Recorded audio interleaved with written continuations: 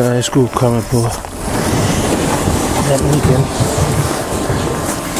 Og, eller det er jeg jo ikke nu. Men det er lige om lidt. Og i dag, der er det igen torsken.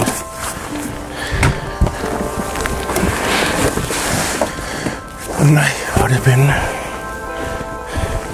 For sidste gang, der gik det jo ikke helt, som jeg havde håbet på. Så må jeg jo indrømme.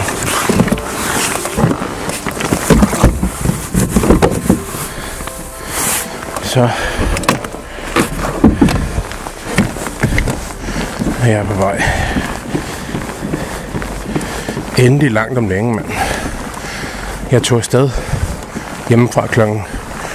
05 med 22, tror jeg faktisk det var. Og jeg var herinde to timer og 20 minutter efter. Fordi folk ikke kan finde ud af at køre ordentligt på motorvejen. Nej, ikke folk. Nogen. Så der var sket lidt uheld. Der var i hvert fald nogen, der stod i yderbanen og udvekslede visitkort. Og det er jo ikke helt meningen, kan man sige. Men nu er jeg på vej ud og... Hold nu op, mand. Klokken blev lidt mange. Næste gang, der sover jeg heroppe, det er helt sikkert.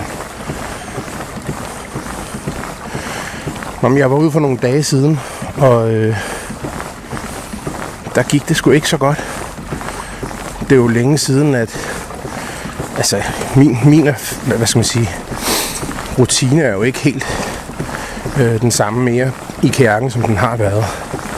Godt mærke, at det hele ligger, hvad skal man sige,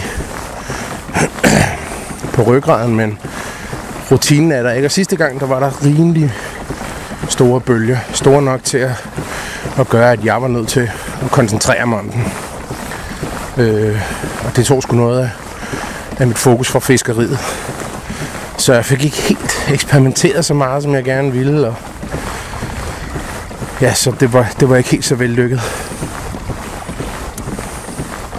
Men i dag, der er forholdene anderledes. Der er mindre strøm og mindre vind. Og den der med strømmen, har jeg hørt, kan være et issue i sig selv. Så det skulle spændende. Nu må vi se altså. Jeg vil i hvert fald give den et skud. Lige nu så vil jeg få sat nogle stænger. Og jeg fisker med de her Vengeance stænger her. Jeg ved ikke om I kan, om I kan se det, men Vengeance stænger der. 7 fod fra Shimano. 20-60 gram. Jeg synes de, øh, jeg havde dem også ud sidst. Øhm, det virker som om de gør. Nu havde jeg jo ikke mulighed for at teste særlig meget sidst, fordi det var så svært for mig fiskeriet, men det virker som om, at de gør det, de skal, og de gør det godt, ikke? Så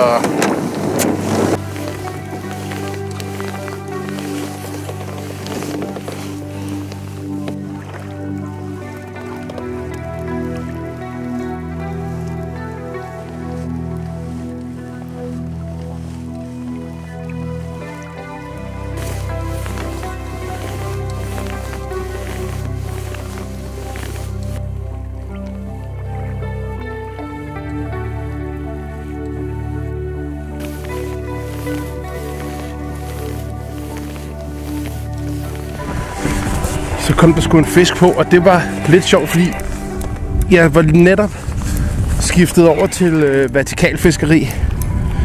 Og, øh, og det var altså noget, der virkede. Åbenbart. Så nu har jeg fanget en torsk. Hvor fedt er det? Det er jeg glad for. Det tror jeg ikke torsken er, men jeg er. Og, det, og så er det lige meget med, hvad torsken den lige sådan umiddelbart tænker i det her øh, sekund her. Fordi den her, den skal hjem til kødgryden, og sådan er det. Det er rigtig, rigtig fedt. Det er en fin torsk, mand. Rigtig, rigtig fin madtorsk. Skal vi se, om den har noget i munden? Det har den ikke. Den får lige en tur med min hjemmelavede priest her. og det er ikke så fint, men sådan er det jo, når man skal have noget at spise. Sådan der. Bang, sagde det bare, du. Så sad den der. Ej, hvor er det dejligt, mand. Nu sætter jeg lige den her ned, og så får jeg lige styr på det her bådværk her. Så når den er i stangholderen, der har jeg ofte været ude for, at, øh, at de rent faktisk hugger alligevel. Selvom der ikke er nogen altså særlig aktivitet, så hugger de sgu på den. Der er de helt ligeglade, de små fisk der. Men um, prøv lige at sætte den der, så får jeg lige styr på det her, for jeg vil gerne have den fisk ud og hænge over siden nemlig. Ja, ikke?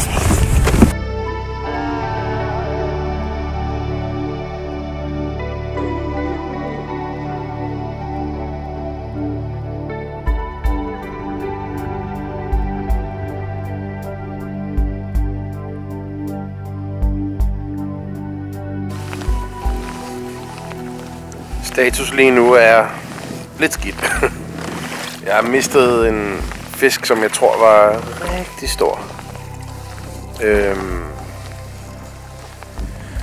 Og så har jeg fået en. Og det er det. Så det er sgu ikke fordi, at det er så forfærdeligt vildt. Men der skete noget lige så snart jeg satte de frøer på der, så øhm, dem har jeg tænkt mig at satse lidt på nu, vil jeg sige. Og så ligger jeg bare og trækker rundt i det samme område. Øhm, ja, det er sgu nok noget nær det, der er status lige nu egentlig. Der er sgu ikke så meget mere at sige om det, andet end at jeg kæmper lidt for det.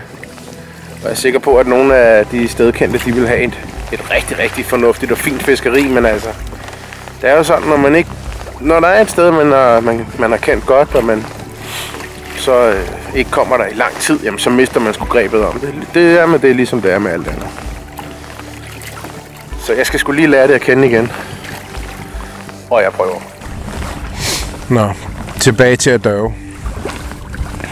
Der er kommet lidt mere bølger på. Stadig, eller overhovedet ikke noget i nærheden af, hvad det var sidst, så det er sgu meget rart.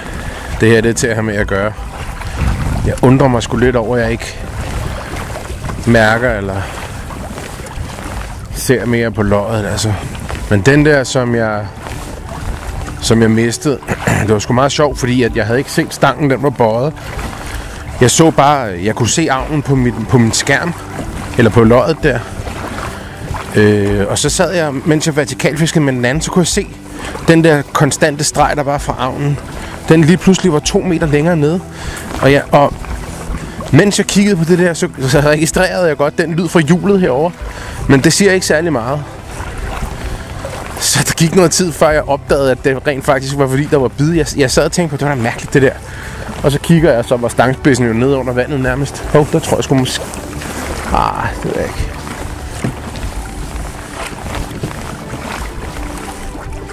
Men øh, ja. Det er som det er.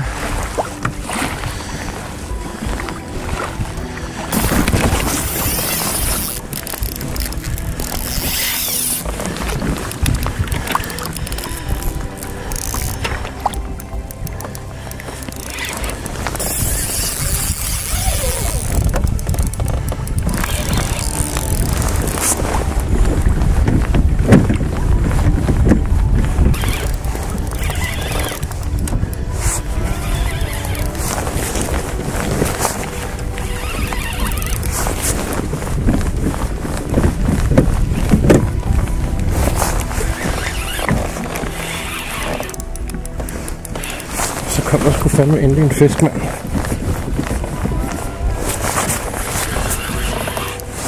Spændt på at se, hvad det er for en.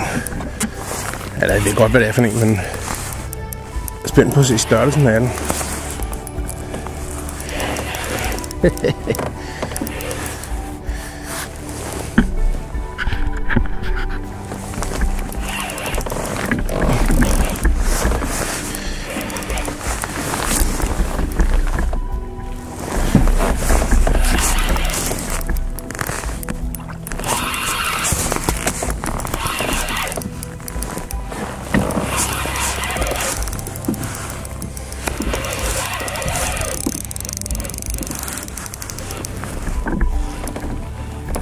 sgu en fin fisk, den der, synes jeg.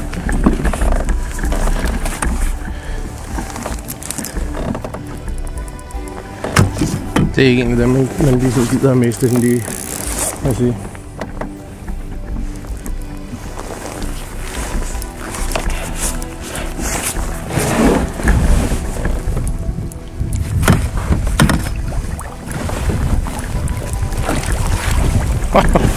er der sindssygt en torskånd. Der var der bank med dagens største indtil, indtil videre, skal man jo skynde sig at sige. Men hold kæft, mand, en fisk. Shit, må der bide på den her også, mand. Ej, den taber jeg. Det er vist fint nok.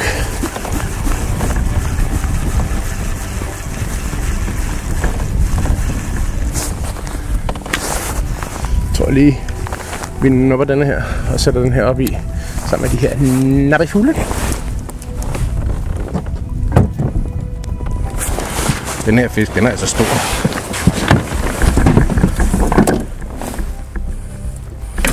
Den er altså rigtig stor. Altså grænse, mand. Hvordan fanden skal jeg lige... Nå, men altså, øh, udmærket. Lad os få den her op, så vi kan se på banditten her. Hold da kæft, mand. Altså... Tjek den her fisk her. Ups. Hvad?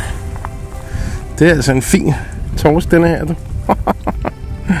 Hold kæft, man. den er god, den her, du. Helt perfekt, mand. Det kan ikke være bedre, altså. Jeg vil skynde mig at få øh, gang i noget mere fiskeri her. Shit, det var sgu lov. Det var da opløftende, det der, mand. Hold nu op, mand. På sådan en gammel wobbler, mand. Shit, mand. Nå, men det var sgu... Øh, nej, hvor er det fedt, altså. Jeg er så glad, altså. Nu har jeg fundet nogle dybdegående wobbler frem. Så må det jo være... Hvad det, der er tricket? Altså... Eller, nej, ja, det vil jeg... Jeg vil håbe, at det er det, der er tricket. Lad mig sige det sådan. Huh. Det er sgu nærmest... Det var fandme en fin fisk, den der. Det, altså, nu, ikke for noget, men jeg tror, den er tæt på en meter, ikke? Det kan også godt være, den kun er 90. Det kan også godt være, den er mindre, det ved jeg ikke. Den så bare lang ud. Altså, den går helt vejen her. Den går helt op fra toppen af det der. Altså, helt op fra hjørnet af kajakken, og så ind under sædet. Det er sgu alligevel en rimelig lang fisk, vil jeg sige. Nu har jeg jo været rigtig meget vant til at fiske øh, nede i brakvandet efter geder.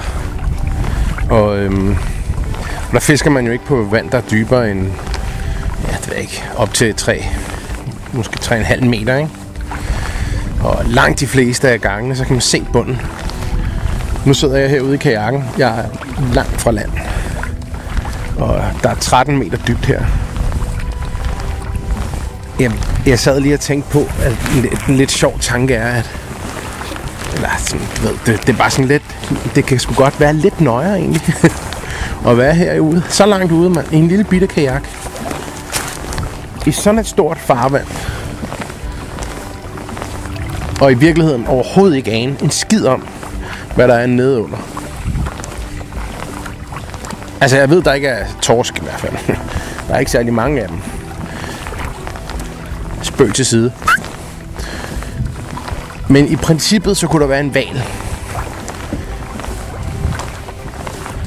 Eller en hej. Hvad fanden ved jeg? Jeg synes, det er en lille smule tankevækkende.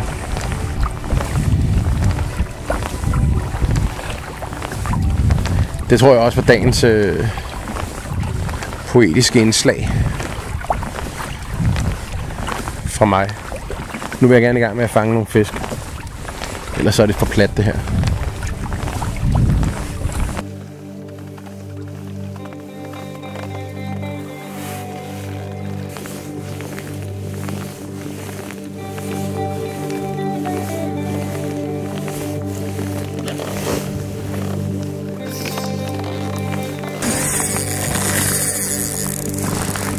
Så er der en fisk på mig.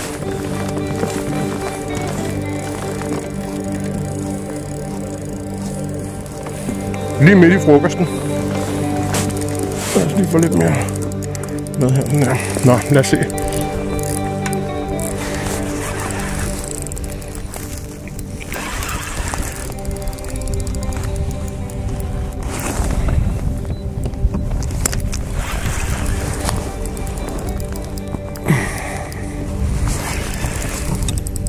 Så bare med et flyet, mand, og kørt mad ned i gabet, altså. Jeg tror, lige så dem her, så de ikke flyver i vejret.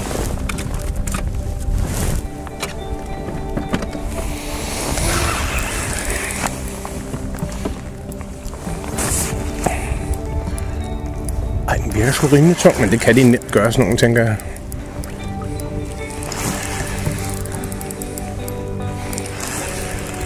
Det kan også være, at det er en fisk på 600 kilo. jo. Det er, det er, altså, i princippet kan det være en fisk på 900 km.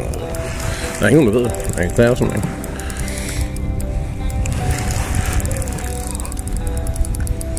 Åh, oh, det er spændende. Det er altid så pisse spændende, mand, fordi der bare ikke er grænser for, hvad man kan få af... Ja, det er der jo selvfølgelig, men det kan bare være en stor fisk, ikke? Og det kan også være en lille fisk, selvfølgelig. Det er bare mega stærk, altså.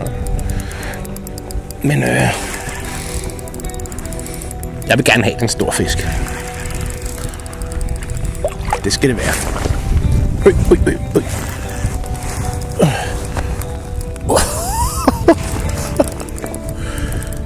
Den gider ikke op, det gør den altså ikke. Det gør den simpelthen ikke. Jeg prøver lige at få den over på den her side her. Så vi kan se, hvad fanden øh, det er, vi har med at gøre med den. Det ikke også? Er det rigtigt? Hvad siger man? Lad os se en gang her. Stadig ikke sænken. Den vil bare i kælderen, den her. Den lidt her. Det vil den godt nok skide på. Jeg tænker, at det måske er en fisk, som vi skal have med et fiskenet. Nu kan jeg skimte noget dernede. Jeg gør lige sådan her med nettet. Bare for en, for en god ordens skyld, så det er klart, ikke?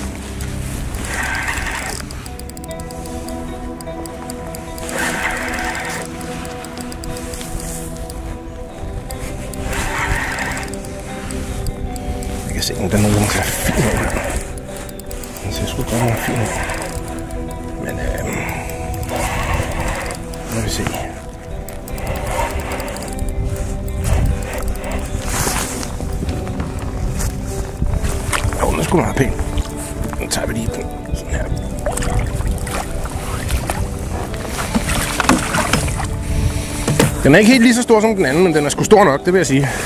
Stor nok til Dennis. Og det er der simpelthen bare ikke noget at diskutere. Nogle kroge i nogle fingre her, det, det gider jeg simpelthen ikke. Det har jeg prøvet nok. Altså.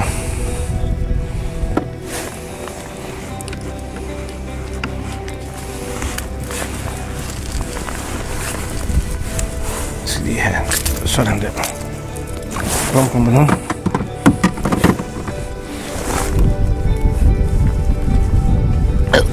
Den her. Den har et kæmpe sår der. Den, den ryger ud igen, du.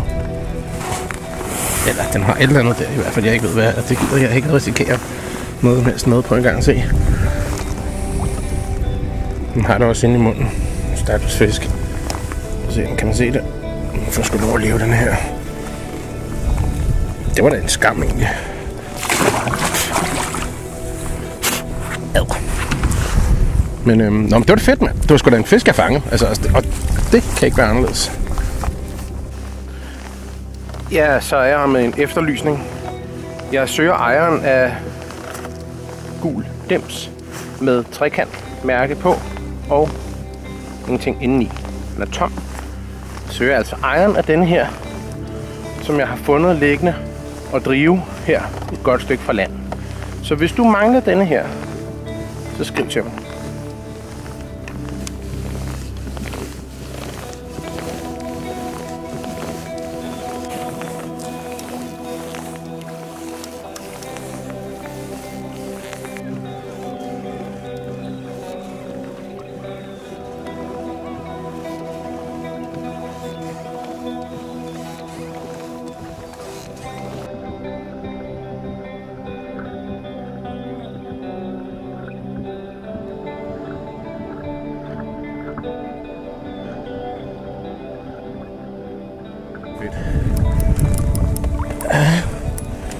Fedt, fedt, fedt.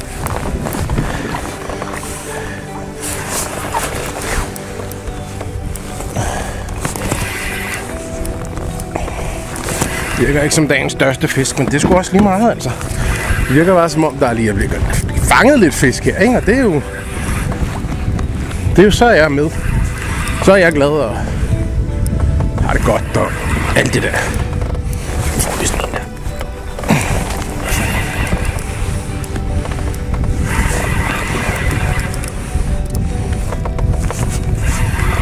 Lad os se gang, det er sgu spændende. Der er den nede.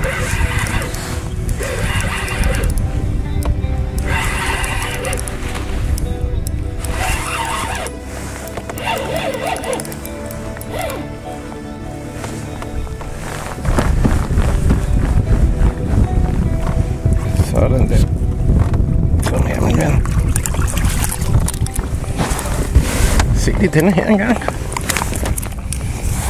Du kunne ikke stå for denne her gamle, gamle bomber bobler. Hva? Det kunne du godt nok ikke. Så skal vi lige have denne her. Hvad fanden er det?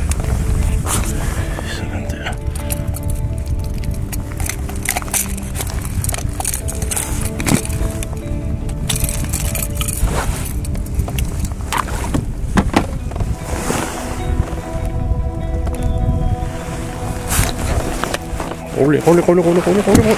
Ja. Det var nu den vej, den skulle alligevel. Men det er fedt, var. Det er rigtig fedt. Jeg håber, at man igennem kameraet kan se, hvor fedt det i virkeligheden er, ikke? Bum, bum, lum. Så er vi i gang igen. Nu vil jeg pakke mig ind. Og sætte mig til rette ind til næste fiskbider.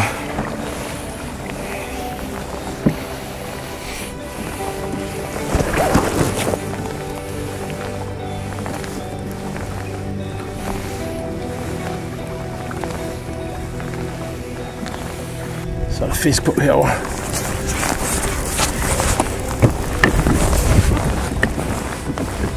Så vi at se, om jeg kan, lige kan få den her en gang her, fordi det er lidt, lidt kaos med to stænger ude.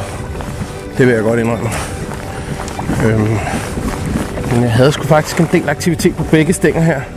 Øh, og, øh, men jeg mistede nogle fisk.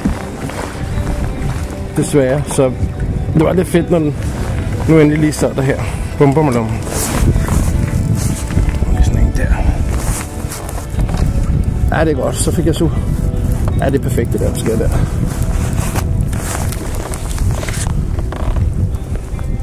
Sådan der. Gør vi lige sådan her.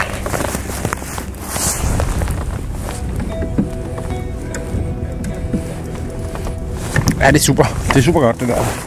Der foregår der. Nu har jeg så fået viklet den anden stang ind i pedalerne. Det er pisse fedt herude. Eller det er ikke stangen, det er jo krogen, der er viklet ind i pedalerne. Nå, fuck den. Nu må man sgu selv ligge over med. Lige nu har jeg en fisk på, og det er lidt vigtigere.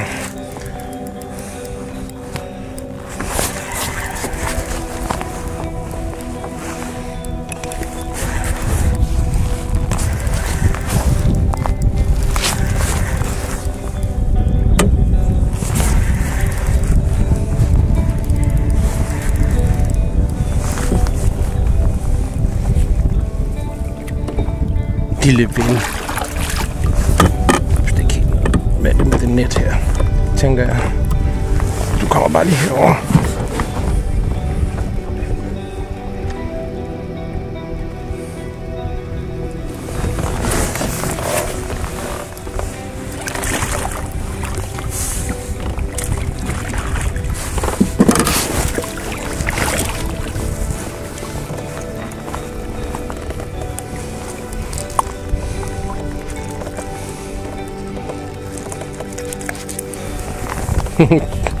det er en fandme en flot fisk. Ja.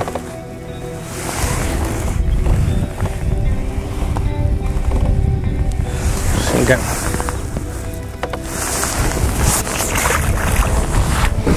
Nå, nu har jeg sgu nogle lidt andre ting, jeg lige skal tage mig af, fordi at...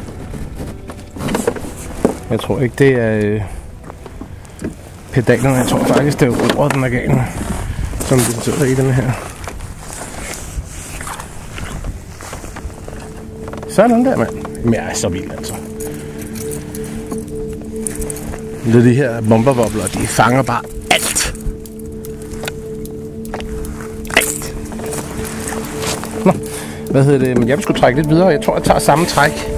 Fordi at, øh, det var jo ikke nogen dum idé, eftersom der var en del aktivitet. Men øh, hvis det er størrelsen på fisken, vi lige så her, så er det ikke rigtig helt. Altså, nu ser vi.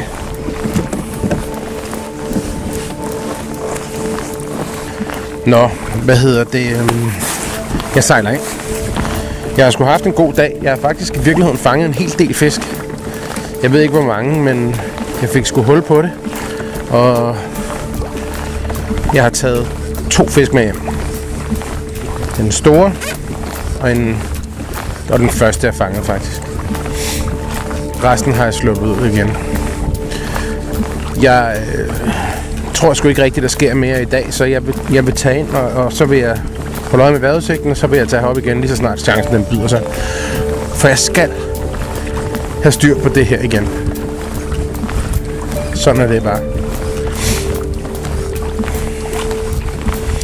Jeg har også tænkt mig snart at drøne ud på en af søerne.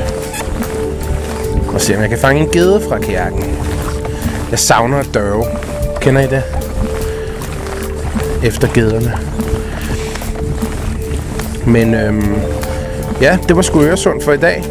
Og det var nok fra mig for i dag. Hvis man kan sige det sådan. Jeg øhm, glæder mig til at komme hjem. Og jeg ser frem til to timer minimum i bilen, før jeg er hjemme. Ja, to timer. Fordi at når der er mange på motorvejen, som skal den samme vej, så har de en tendens til at sætte farten ned til nærmest ingenting. Så derfor får jeg så reduceret køretiden. Ikke reduceret, jeg får lagt til køretiden, og det er med en hel del, vil jeg sige. Pænt irriterende. Men sådan er det. Det har været en fantastisk god dag. Det har fandme været en god dag. Vi ses.